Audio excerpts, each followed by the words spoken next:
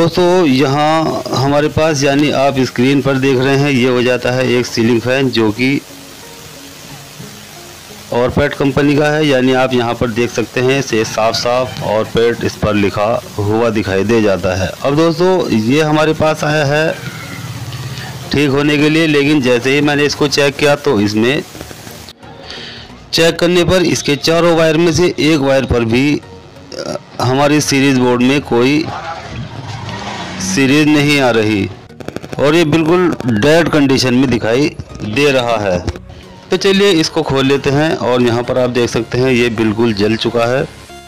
यानी इसका नीचे वाला सर्किट बिल्कुल जल चुका है और अब इसमें बिल्कुल भी गुंजाइश नहीं है, इसको काट लेना ही बेहतर हो जाता है। तो चलिए मैं इसकी कटिंग कर लेता हूँ और कटिंग कर लेने के बाद इसको रिवाइंड करेंगे। तो यहाँ पर आप देख सकते हैं, ये कितना इंसुलेशन इसका निकल कर बॉडी पर लग चुका है। यानी जब ये जलता है तो इसका इंसुलेशन भाप बनकर उड़ता है और ये बॉडी पर चिपक जाता है।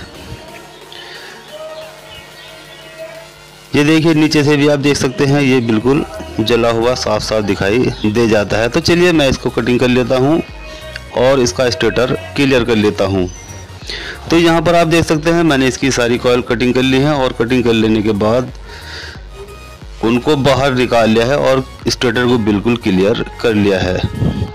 तो देखिए, ये हो जाती है इसकी सारी निकली हुई कॉयल जो कि चौदह कॉयल इसमें ऊपर थी और चौदह ही कॉयल इसके नीचे थी। तो कुल टोटल मिलाकर इसमें अट्ठाईस कॉयल हो जाती हैं। और दोस्तों, ये हो जाती हैं इसकी दो कॉयल एक रनिंग वाली ये वाली हो जाती है और ये वाली स्टार्टिंग वाली। दोनों को मैंने काउंट कर लिया है। अब इस वाली कॉयल में तीन टन इसमें निकली हैं, जो कि रनिंग वाली है, और इसमें 370 टन निकली हैं, जो कि स्टार्टिंग वाली हैं।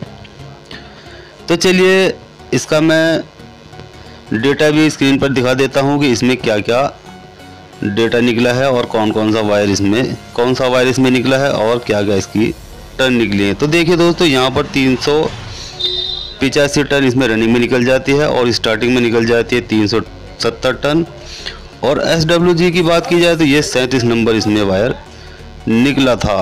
तो दोस्तों, अब हम इसको सैंतीस नंबर वायर से रिवाइंड नहीं करेंगे, इसको छत्तीस नंबर वायर से रिवाइंड करेंगे।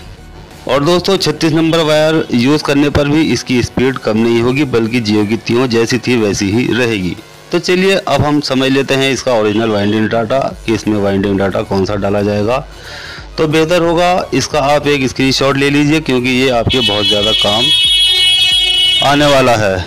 तो चलिए, अब हम इसको मशीन पर ले चलते हैं और इसको, जो पहली वाली कॉयल है, उसको रिवाइंड करना शुरू करते हैं। तो यहाँ पर आप देख सकते हैं, इसमें 370 टन मैंने डाल दिए हैं, जो कि नीचे वाली सर्किट है, यानी स्टार्टिंग वाला।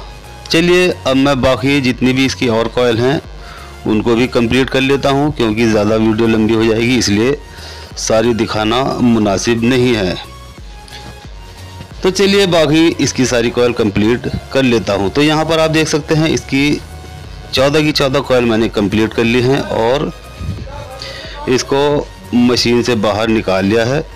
तो चलिए, अब बारी आ जाती है इसके पेपर लगा लेने की तो यहाँ पर इसके लॉक पेपर भी हम लगा लेते हैं। और ये हो जाती हैं दोस्तों, इसकी दो लीडें जो कि एक स्टार्ट वाली है और एक एंड वाली है। चलिए यहाँ पर मैं इसमें पेपर लगा लेता हूँ और उसके बाद ऊपर रनिंग वाले सर्किट में भी पेपर लगा लेता हूँ। तो यहाँ पर आप देख सकते हैं, मैंने नीचे कॉयल को भी लॉक कर लिया है और ऊपर रनिंग वाले पेपर भी मैंने लगा लिए हैं तो अब ये मशीन पर फिट करने के लिए तैयार हो चुका है। तो चलिए मैं इसको उठा लेता हूँ और इसको मशीन पर फिट कर लेता हूँ और उसके बाद इसके वायर डालना शुरू कर देता हूँ। तो यहाँ पर आप देख सकते हैं, ये मैंने इसको मशीन में फिट कर लिया है और इसकी जो पहली वाली कॉयल है, उसको लगभग कंप्लीट ही कर लिया है। तो चलिए इसको देख भी लेते हैं कि इसमें कितनी टन हमने डाली हैं।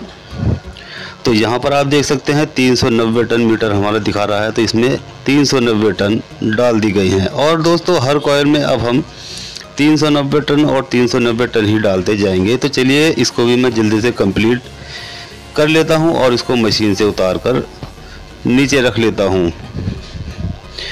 तो चलिए, यहाँ पर आप देख सकते हैं, दोनों सर्किट इसके कंप्लीट हो चुके हैं और बहुत ही खूबसूरती के साथ ये मोटर रिवाइंड हो चुका है।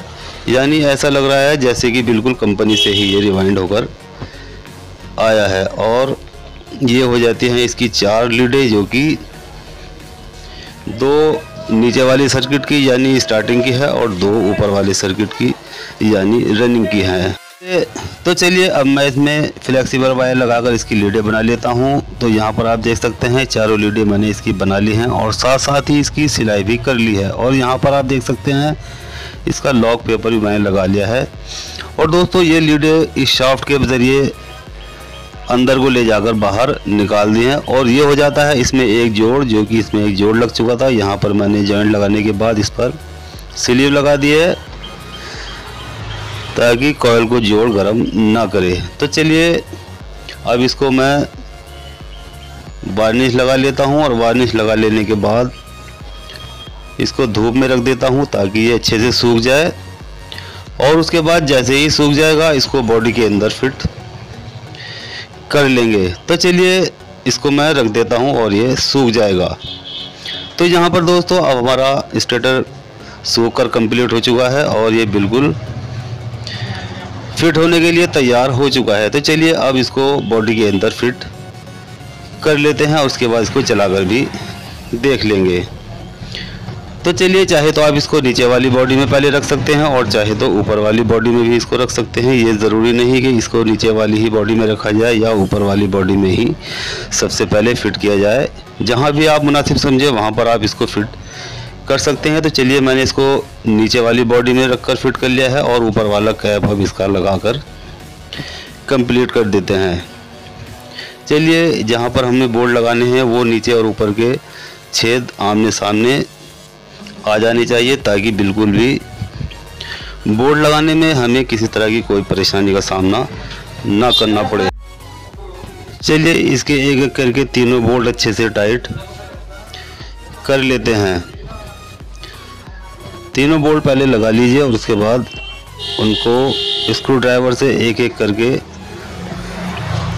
ये ध्यान रहे कि तीनों बोल्ट थोड़ा थोड़ा करके टाइट करनी चाहिए। अगर एक साथ एक बोल्ट को टाइट कर दोगे तो इसकी सेटिंग ख़राब हो जाएगी। इसलिए बेहतर है तो थोड़ा थोड़ा एक एक बोल्ट को कसते जाएँ, उसके बाद दूसरा कस लें, उसके बाद तीसरा। इस तरह से इसको टाइट करते जाएँ तो इससे सेटिंग बड़ी अच्छे से आ जाती है।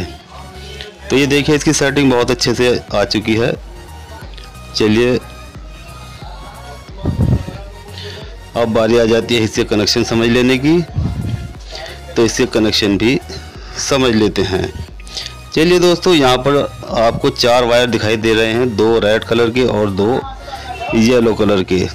ये देखिए, दो रेड वाले हुए हैं और दो येलो कलर के। तो चलिए, अब इनमें से कोई से भी एक एक वायर ले लेने हैं और उनको आपस में जॉइंट कर कर इसको सीरीज़ बना लेनी है।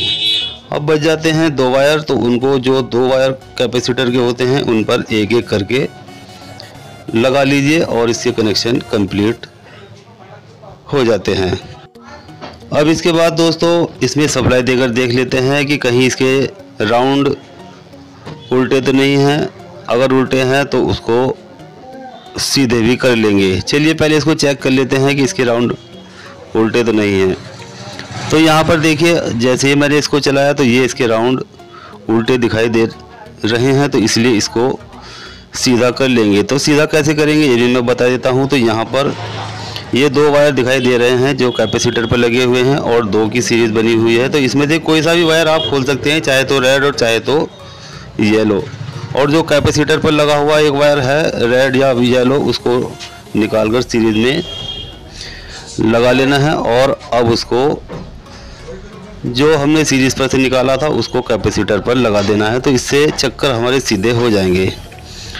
तो ये देखिए दोस्तों, अब चक्कर बिल्कुल सीधे हो चुके हैं। चलिए अब इसको हाथ से जॉइंट लगा लेते हैं, क्योंकि इसका प्लग मैंने निकाल लिया है, इसलिए हाथ से ही इसको जोड़कर इसके कनेक्शन टाइट कर लेते हैं। तो चलिए अब इसको चलाकर देख लेते हैं।